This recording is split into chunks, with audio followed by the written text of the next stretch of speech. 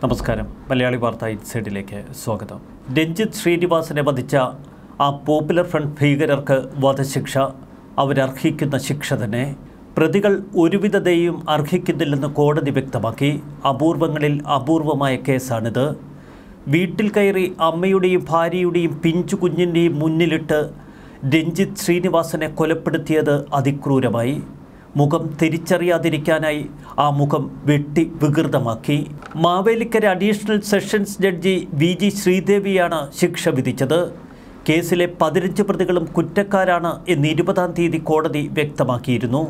പ്രോസിക്യൂഷന്റെയും പ്രതിഭാഗത്തിന്റെയും വാദങ്ങൾ കേട്ടതിനു ശേഷമാണ് സുപ്രധാന വിധി കോടതി പുറപ്പെടുവിച്ചത്. പ്രതികൾക്കെല്ലാവർക്കും വധശിക്ഷ തന്നെ. ശിക്ഷാവിധി കേൾക്കാനായി രഞ്ജിത് ശ്രീനിവാസന്റെ അമ്മയും ഭാര്യയും കോടതി മുറിക്കുള്ളിൽ എത്തിയിരുന്നു. പ്രതികൾക്ക് വധശിക്ഷ നൽകണമെന്നായിരുന്നു പ്രോസിക്യൂഷന്റെ ആവശ്യം.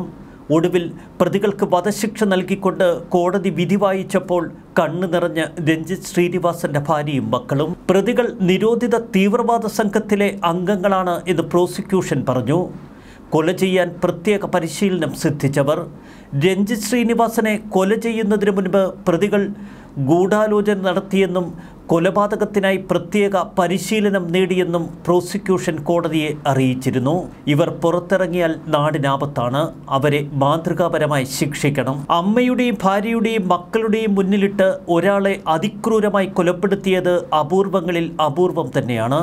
അതുകൊണ്ട് തന്നെ വധശിക്ഷയല്ലാതെ മറ്റൊന്നും പ്രതികൾ അർഹിക്കുന്നില്ല എന്നും കോടതി വ്യക്തമാക്കി. രണ്ടായിരത്തി ഇരുപത്തിയൊന്ന് ഡിസംബർ പത്തൊൻപതിന് ആ ദിവസം അത്ര പെട്ടെന്നൊന്നും കേരളം മറക്കില്ല.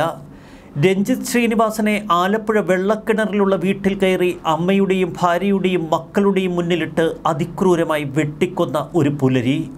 ഡിസംബർ പതിനെട്ടിന് രാത്രി എസ് ഡി പി ഐ സംസ്ഥാന സെക്രട്ടറി കെ എസ് ഷാനെ ആലപ്പുഴ മണ്ണഞ്ചേരിയിൽ വെച്ച് കൊലപ്പെടുത്തിയിരുന്നു. അതിന് പ്രതികാരമായി നടത്തിയതായിരുന്നു രഞ്ജിത്ത് ശ്രീനിവാസന്റെ കൊലപാതകം. എന്നാൽ ഷാനിന്റെ കൊലപാതകത്തിന് മുൻപ് ഒരു ആർ എസ് എസ് പ്രവർത്തകൻ കൊല ചെയ്യപ്പെട്ടിരുന്നു. ഒരുവിധ കുറ്റകൃത്യങ്ങളിലും ഉൾപ്പെട്ടിട്ടുള്ള ആളായിരുന്നില്ല രഞ്ജിത് ശ്രീനിവാസൻ. പൊതുവെ ശാന്ത സ്വഭാവക്കാരൻ. എന്നാൽ പോപ്പുലർ ഫ്രണ്ട് തീവ്രവാദികൾ പ്രത്യേക ഹിറ്റ് ലിസ്റ്റ് തയ്യാറാക്കി. കൊലപ്പെടുത്തേണ്ട ഓരോരുത്തരുടെയും പേരുകൾ അവർ ഈ ലിസ്റ്റിൽ കുറിച്ചിട്ടു. ലിസ്റ്റിൽ ഒന്നാം പേരുകാരനായിരുന്നു രഞ്ജിത് ശ്രീനിവാസൻ. പോപ്പുലർ ഫ്രണ്ട് പ്രവർത്തകരായ ആലപ്പുഴ അമ്പലക്കുളങ്ങര മാച്ചനാട് കോളനിയിൽ നൈസാം മണ്ണഞ്ചേരി അമ്പലക്കടവ് വടക്കേ ചിറപ്പുറം വീട്ടിൽ അജ്മൽ ആലപ്പുഴ വെസ്റ്റ് മുണ്ടുവാടക്കൽ വീട്ടിൽ അനൂപ് ആര്യാട് തെക്ക് അവലൂക്കുന്ന് ഇരക്കാട്ട് വീട്ടിൽ മുഹമ്മദ് അസ്ലാം മണ്ണഞ്ചേരി ഞാറവേലിൽ അബ്ദുൽ കലാം അടിവാരം ദാറുസബീൻ വീട്ടിൽ അബ്ദുൽ കലാം ആലപ്പുഴ വെസ്റ്റ് തൈവേലിക്കകം വീട്ടിൽ സർഫുദ്ദീൻ മണ്ണഞ്ചേരി ഉടുമ്പിത്തറ വീട്ടിൽ മൻഷാദ് ആലപ്പുഴ വെസ്റ്റ് കടുവത്തുശ്ശേരി ചിറയിൽ ജസീബ് രാജ മുല്ലക്കൽ വട്ടക്കാട്ടുശ്ശേരി വീട്ടിൽ നവാസ് കോമളപുരം തയ്യിൽ വീട്ടിൽ സമീർ നോർത്ത് ആര്യാട് കണ്ണറുകാട് വീട്ടിൽ നസീർ മണ്ണഞ്ചേരി ചാവടിയിൽ സക്കീർ ഹുസൈൻ മണ്ണഞ്ചേരി തെക്കേവിളയിൽ ഷാജി മുല്ലക്കൽ നുർദീൻ പുരയിടത്തിൽ അഷ്റഫ് എന്നിവരാണ് ഒന്നു മുതൽ പതിനഞ്ച് വരെ പ്രതികൾ. മാരകായുധങ്ങളുമായി രഞ്ജിത് ശ്രീനിവാസന്റെ വീട്ടിലേക്ക് ഇരച്ചു കയറി. ഒന്നു മുതൽ എട്ട് വരെ പ്രതികൾ ഇന്ത്യൻ ശിക്ഷാ നിയമത്തിലെ നാനൂറ്റി നാൽപ്പത്തി ഒൻപത് വകുപ്പ് പ്രകാരം കുറ്റക്കാരാണ്. വീട്ടുമുറ്റത്തേക്ക് അതിക്രമിച്ചു കടന്നതിന് ഒൻപത് മുതൽ പന്ത്രണ്ട് വരെ പ്രതികൾ നാനൂറ്റി നാൽപ്പത്തിയേഴ് വകുപ്പ് പ്രകാരവും കുറ്റക്കാർ. ിൽ നാശനഷ്ടമുണ്ടാക്കിയത് ഒന്ന് അഞ്ച് ഒൻപത് പ്രതികൾ. പതിനൊന്ന് പന്ത്രണ്ട് പ്രതികൾ നാനൂറ്റി ഇരുപത്തിയേഴ് വകുപ്പ് പ്രകാരവും ഒന്ന് മുതൽ എട്ട് വരെ പ്രതികൾ അഞ്ഞൂറ്റിയാറ് ഉപബ്രാക്കറ്റ് രണ്ട് വകുപ്പ് പ്രകാരവും രഞ്ജിത്തിന്റെ അമ്മയെ വാളുപയോഗിച്ച് ആക്രമിച്ചതിന് എട്ടാം പ്രതി മുന്നൂറ്റി ഇരുപത്തിനാലാം വകുപ്പ് പ്രകാരവും കുറ്റക്കാർ. കുടുംബാംഗങ്ങളെ ഉപദ്രവിച്ച കേസിൽ രണ്ട് ഏഴ് എട്ട് പ്രതികൾ മുന്നൂറ്റി ഇരുപത്തി മൂന്ന് വകുപ്പ് പ്രകാരവും അന്യായ തടസ്സമുണ്ടാക്കിയതിന് ഒന്ന് മുതൽ എട്ട് വരെ പ്രതികൾ മുന്നൂറ്റി നാൽപ്പത്തി ഒന്നാം വകുപ്പ് പ്രകാരവും കുറ്റക്കാർ. തെളിവ് നശിപ്പിച്ച കുറ്റത്തിന് ഒന്നു മുതൽ ഒൻപത് വരെ പ്രതികളും പതിമൂന്ന് പതിനഞ്ച് പ്രതികളും ഇരുന്നൂറ്റിയൊന്ന് വകുപ്പ് പ്രകാരം കുറ്റക്കാർ. മാരകായുധങ്ങളുമായി രഞ്ജിത്തിന്റെ വീടിന് മുന്നിൽ കാവൽ നിന്ന ഒൻപത് മുതൽ പന്ത്രണ്ട് വരെയുള്ള പ്രതികളുടെ ലക്ഷ്യം രഞ്ജിത്ത് രക്ഷപ്പെടാതിരിക്കൽ തന്നെ. അതുകൊണ്ട് തന്നെ ഐ പി സി നൂറ്റി നാൽപ്പത്തി ഒൻപതാം വകുപ്പ് പ്രകാരം ഇവർക്കെതിരെയും കൊലപാതക കുറ്റം ചുമത്തണം എന്ന പ്രോസിക്യൂഷൻ വാദവും കോടതി പൂർണമായി അംഗീകരിച്ചിരുന്നു. ഗൂഢാലോചനയ്ക്ക് നേതൃത്വം നൽകിയ പതിമൂന്ന് മുതൽ പതിനഞ്ച് വരെയുള്ള പ്രതികളും കൊലപാതക കുറ്റത്തിന് ശിക്ഷാർഹത തന്നെ ചുരുക്കത്തിൽ രഞ്ജിത് ശ്രീനിവാസന്റെ കൊലപാതകത്തിന് പിന്നിൽ പ്രവർത്തിച്ച എല്ലാ പ്രതികൾക്കും വധശിക്ഷ. ആലപ്പുഴ ജില്ലയിൽ തുടർച്ചയായി നടന്ന പ്രതിഷേധങ്ങളും സംഘർഷങ്ങളും പരസ്പര വെല്ലുവിളികളുമൊക്കെ.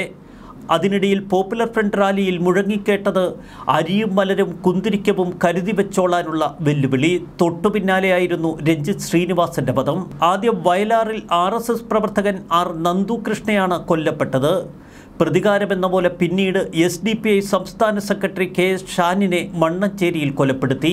അതിന് തൊട്ടു പിറ്റേന്ന് രാവിലെയായിരുന്നു രഞ്ജിത്തിന്റെ പദം കേരളം നടുങ്ങിത്തെരിച്ച നിമിഷങ്ങൾ ദിവസങ്ങൾ ആ മണിക്കൂറുകളിൽ പോലീസിനെതിരെ അതിശക്തമായ ആക്ഷേപങ്ങൾ ഉയർന്നിരുന്നു.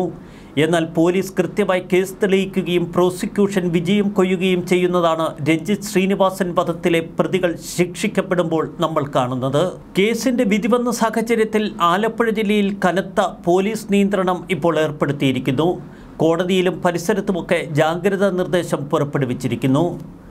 രഞ്ജിത് ശ്രീനിവാസന്റെ വധത്തിനു ശേഷമാണ് പിന്നീട് പോപ്പുലർ ഫ്രണ്ട് നിരോധിക്കപ്പെടുന്നതും പോപ്പുലർ ഫ്രണ്ടിന്റെ നേതാക്കൾ അഴിക്കുള്ളിൽ അകപ്പെടുന്നതുമൊക്കെ. കേരളത്തിൽ വളർന്നു വന്ന ഭീകരതയുടെ ഏറ്റവും വലിയ തെളിവുകളാണ് ആലപ്പുഴയിൽ തുടർച്ചയായി നടന്ന ഈ കൊലപാതകങ്ങൾ. മനുഷ്യ മനസ്സാക്ഷിയെ നടുക്കിയ ഒരു കൊടും ക്രൂര കൊലപാതകം. ഒരു വീട്ടിൽ അതിക്രമിച്ചു കയറി കുടുംബാംഗങ്ങളുടെ മുന്നിലിട്ട് രഞ്ജിത് ശ്രീനിവാസനെ കൊല ചെയ്യുമ്പോൾ പ്രതികളുടെ മനസ്സിൽ വൈരാഗ്യം മാത്രമായിരുന്നില്ല ഇത് കേരളത്തിനുള്ള താക്കീത് കൂടിയായിരുന്നു. അതുകൊണ്ട് തന്നെ ഈ പ്രതികൾ ഒരുവിധ ദാക്ഷിണ്യവും അർഹിക്കുന്നില്ല എന്ന് കോടതി പറയുമ്പോൾ അതിനൊപ്പം കേരളത്തിന്റെ മനസ്സാക്ഷിയും ശബ്ദിക്കുന്നു. ഞങ്ങൾക്കുണ്ടായ നഷ്ടം വളരെ വലുതാണ് ഭഗവാന്റെ വിധി വേറെയാണ്. പ്രകൃതിയുടെ നീതിയുണ്ടല്ലോ അത് ഞങ്ങൾ കണ്ടില്ലെങ്കിലും നിങ്ങൾ കാണും. അത് പുറകെ വരും എന്ന പ്രതീക്ഷയുണ്ട്. അത് നിങ്ങൾ കാണും. കോടതി വിധിയിൽ സംതൃപ്തരാണ് എന്ന് രഞ്ജിത്തിന്റെ ഭാര്യ. വധശിക്ഷ കിട്ടും എന്ന് തങ്ങൾ പ്രതീക്ഷിച്ചിരുന്നതായി രഞ്ജിത്തിന്റെ അമ്മ പറയുന്നു.